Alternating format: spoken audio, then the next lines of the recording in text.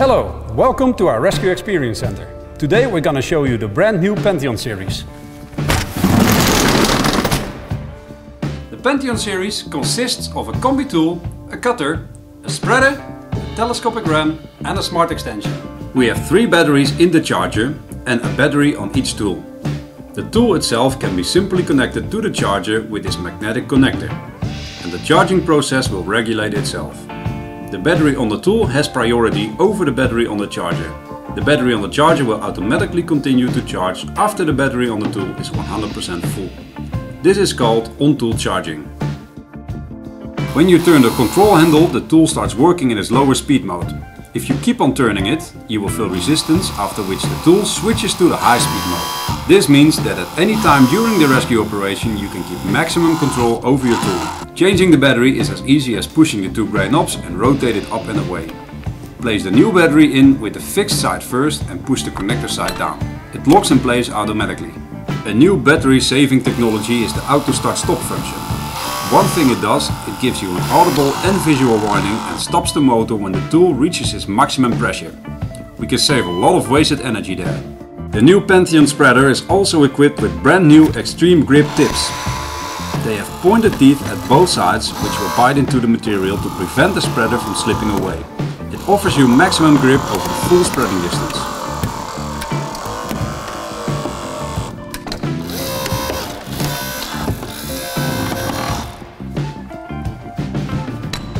Next to grip, we need ultimate speed and control. When spreading a door like we see here, we can easily position the spreaders with low speed and maximum control. When we switch to the higher tool speed mode, the tool shows extreme power and spread off this door in no time. Our new Pentheon cutter is an incline cutter with blades mounted at a 30 degree angle. This gives you as a rescuer the advantage of more working space, which is also safer for the patient. Again, the two-mode control handle gives you all the control you need when placing the cutters. Especially if we cut newer cars and harder metals, control is essential. But when the cutter has its grip, the stepless speed maximization under the hood makes this cutter's overall speed unparalleled.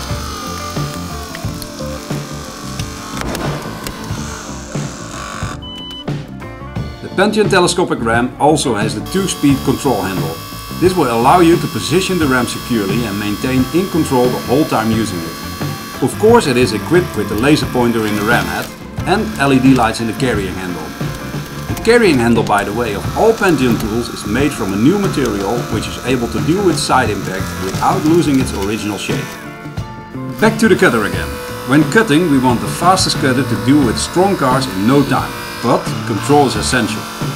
When cutting these hinges we use the lower speed to position the tool and as soon as we see the tool has the grip we move to the higher speed to quickly cut through it.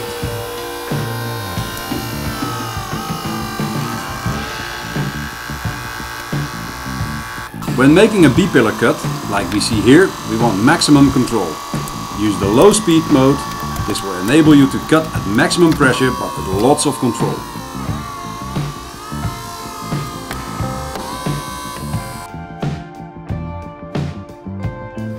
We use the new Pentheon Combi tool to spread off this door.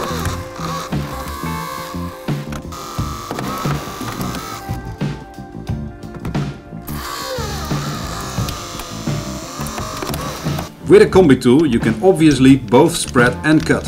The tips at the top are specifically designed for spreading. That's why we have made them removable, so you can cut material without crushing it.